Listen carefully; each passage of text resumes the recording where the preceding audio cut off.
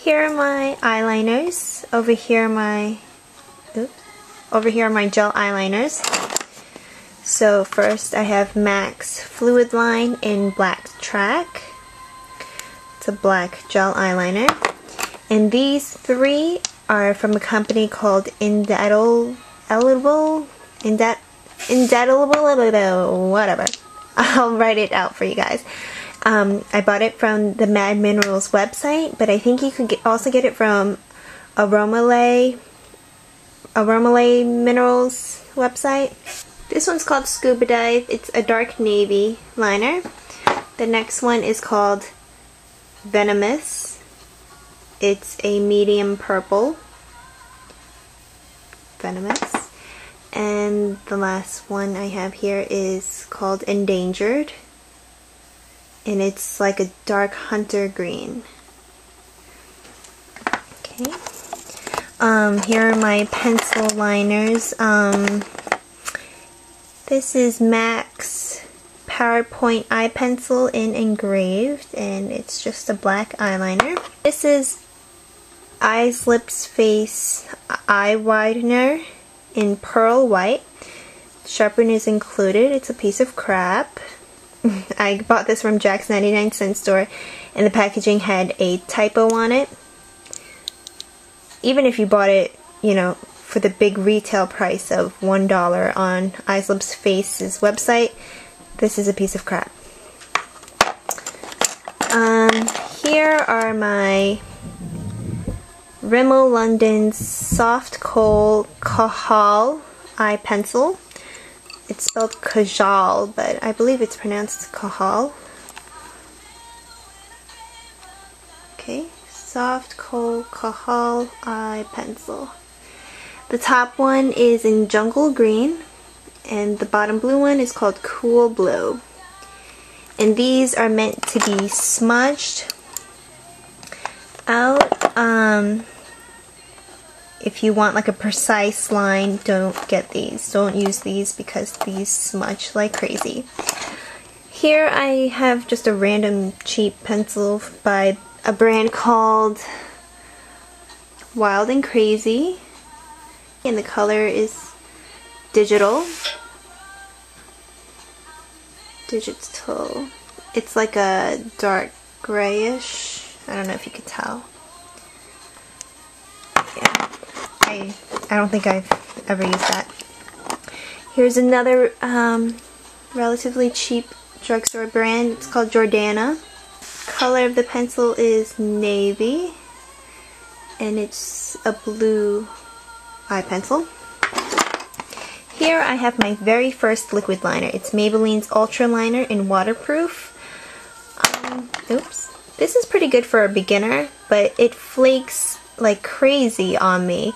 Um, and it, the way it flakes is good for a beginner because once it starts to flake, you could basically peel it off and it'll just come off in like one piece. Like, like you know when glue dries on your fingertips and you, you can just easily peel it off? That's what this is like for me. So, you know, instead of other liners like gel, permanent line, gel liners. Um, if you mess up with this, it's really hard to clean up. If you guys have ever used fluid lines, you know what a pain it is to clean up any mistakes. While this one, you could just peel off your mistakes. Um, yeah, so it flakes like crazy. And this is really old. I should, this is going to be thrown out as soon as this video is done. Here I have my Wet n Wild eyeliners. Um, I heard really good things about their Mega Liner, not the waterproof version. So I bought it in black and I love it. The brush is like long and thin.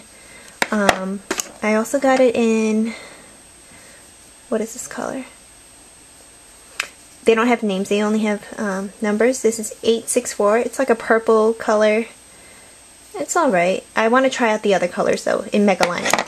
And I also bought it in the waterproof version, H2O proof liquid liner, and this sucks. This, the tip of this is really hard, and I hate those liners.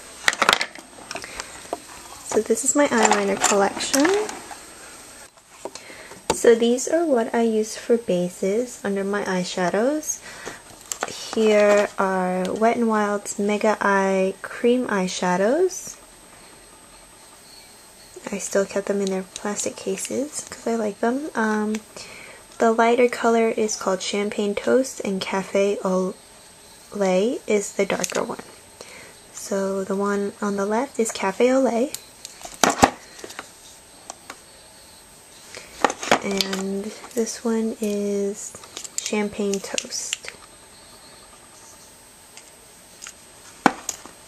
Okay, and these are the Maybelline Cool Effect Cooling Shadow Slash Liners that I showed in my haul video.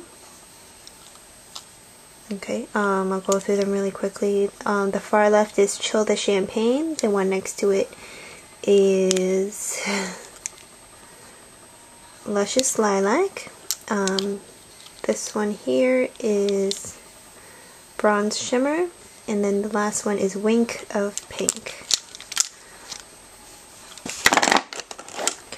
And then I have this Neutrogena Shimmer Sheers. This is for cheeks, eyes, and lips. And it's in the color Charmed. This I bought a long time ago, so I don't even know if they still make these.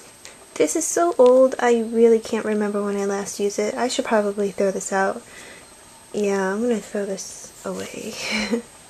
and here is my Urban Decay Eyeshadow Primer Potion for any eye look, I put this on underneath everything. Even if I'm using these or these, I always put primer potion underneath. Um, so these over here, they just serve as like color bases to help bring out the colors um, vibrancy of eyeshadows, while this is to help prevent creasing and help the shadows last longer. This is really good stuff. It works.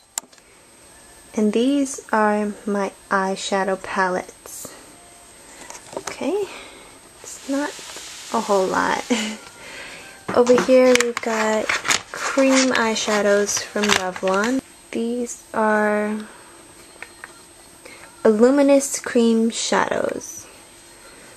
Okay, the one on top is called Not Just Nudes not just nudes. This one is called Pink Petals.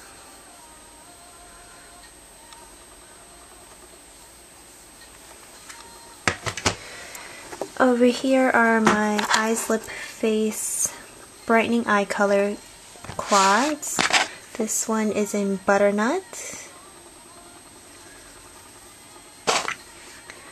This one here is called Drama. And this one is called Luxe.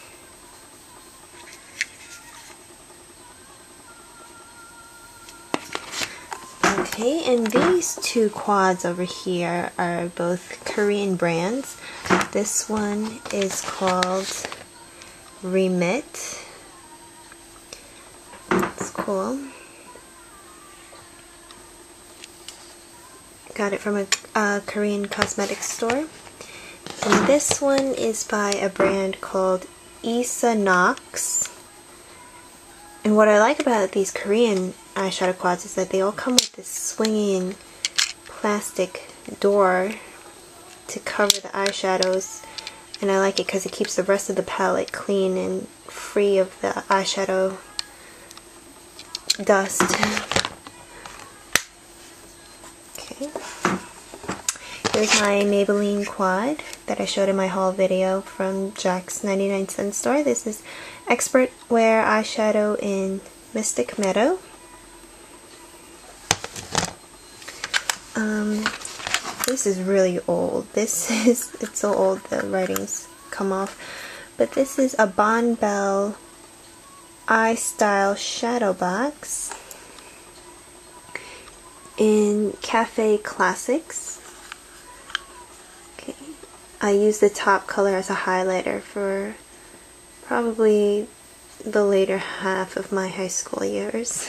so this is really old.